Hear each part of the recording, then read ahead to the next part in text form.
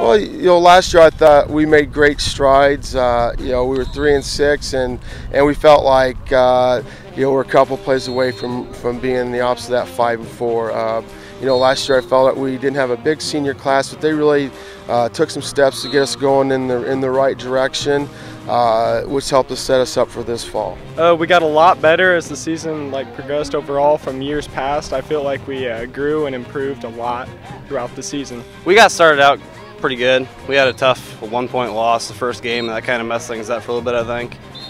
And we were really just a few points off from the playoffs last year. Just a little tweak things up, fix it, and we, we could have done a lot better and hopefully been on the playoffs. They're tighter. I mean, we had a pretty tight group last year, but this group's really tight.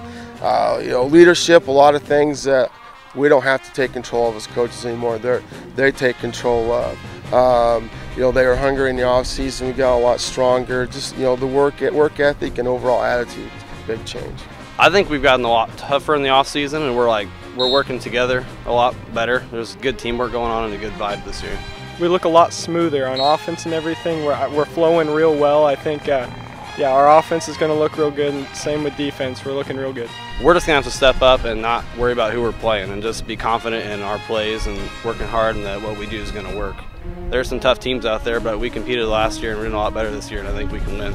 Just got to come out confident. We got to not think too much about who we're playing and just worry about playing football. And that's all we can do is just come out and play our best football. St. Teresa and, and, and Tuscola, obviously two good teams in our conference, and, and we tell the kids, you know what, on paper, I think we're right there with them. It's just a matter, do we believe, and and uh, you know, is our leadership going to kick in, and and uh, you know, getting the season started off the right way, uh, just our tempo. It's great. We felt a lot more support last year than usual. We going out there and won some games, and it's just a great feeling to get out there and have the crowd behind you.